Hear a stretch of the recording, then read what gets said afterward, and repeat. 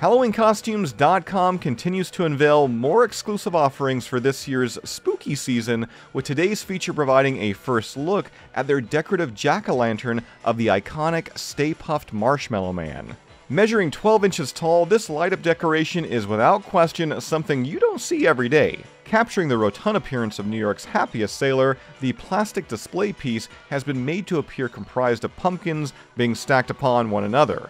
And if you want to talk about spooky, if you want to be terrified beyond the capacity of rational thought, as I just said, this thing it lights up. And when it's illuminating and you turn off surrounding lights, this is what you get.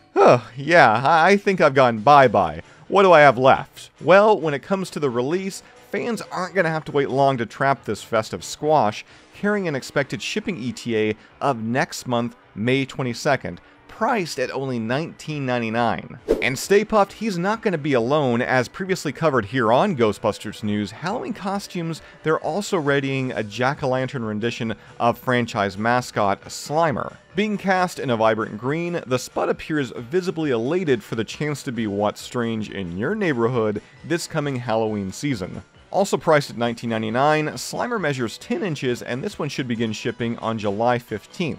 We'll of course continue to provide updates on both spirited offerings with any changes in the release, and of course the eventual in-hand reviews to be featured right here on the Ghostbusters News YouTube channel. Now, if you missed yesterday's report, also coming soon from HalloweenCostumes.com is their exclusive authentic Ghostbusters costume, being comprised of a new Proton Pack prop replica and a jumpsuit. The pack itself, size-wise, appears to be similar to Spirit Halloween's initial offering. However, there are some key differences, in particular Halloween costumes not including speaker holes on the cyclotron and a particle thrower that appears to be a scaled-down rendition of what was included in the company's exclusive full-size replica. Meanwhile, the suit looks to be a higher-end, more accurate take than Halloween costumes' standard Ghostbusters cosplay costume.